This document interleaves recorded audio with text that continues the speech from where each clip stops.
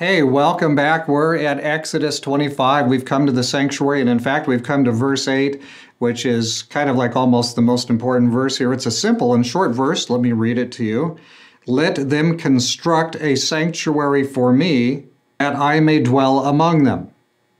Very simple. In Hebrew, it's just like five words. It's very short, it's very concise, it's very giant. In fact, uh, let me read to you a few notes I have put out here from, uh, this one is from Stuart's commentary.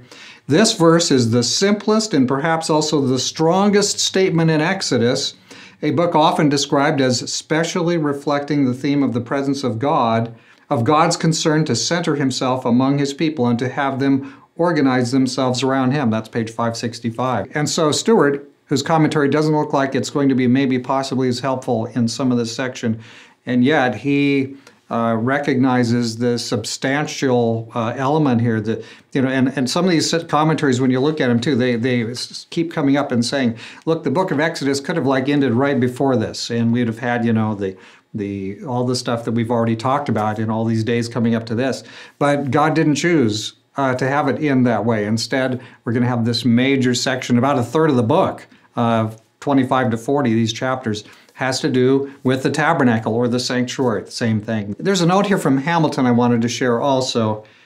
It is significant that God instructs Moses to relay these instructions to the Israelite people, not to the Israelite priests. So the instructions about building the sanctuary, it's not like going to the priests, the clergy, so to speak. It's going to all the people. And God is building a sanctuary so we can dwell not just with the priest, but with the people. So this is kind of an A, this is a chiasm. There's kind of a chiasm pattern going on here. It's A, B, B, A. Watch this.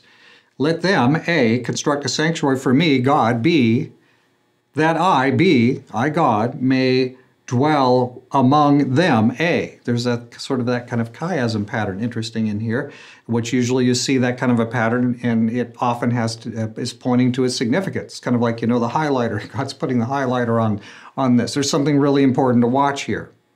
I also wanted to mention uh, yet another uh, remark from, uh, which one is this? Hamilton. The tabernacle relocates the Mount Sinai experience.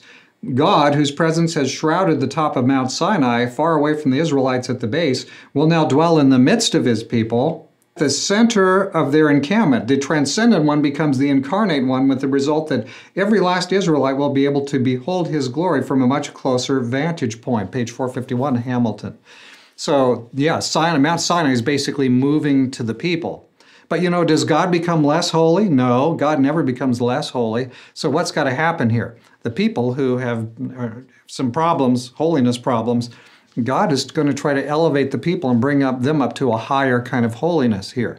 So as God moves in to live right in the middle of the people, and He's at the center of the encampment here because there's an encampment and all the tents are all around, and in the very center, uh, we'll see this more as we get into it. But the sanctuary is at the very center, so God is at the very center of the encampment the people need to tune up. Hey, we are camped with the holy God. So, anyway, this was kind of an important verse for us here. Let them construct a sanctuary for me that I may dwell among them.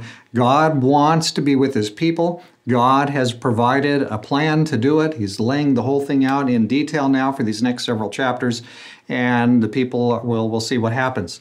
But yeah, God is coming close to his people, but there's a part for them. God just doesn't just like materialize the sanctuary and drop it there, like it comes down out of the sky and settles on the ground. No, they need to get the stuff together, they need to build it. God is inviting us to work together, to be together, uh, to commune together. So, very important item here Exodus 25 8. God is asking his people to build a place so he can dwell in their midst. Holy God wants to dwell in our midst. So we'll talk about, we'll be applying these as we go on. You have a wonderful day, and we'll see you back as we continue to study now. Now we're studying in the book of Exodus about the sanctuary system.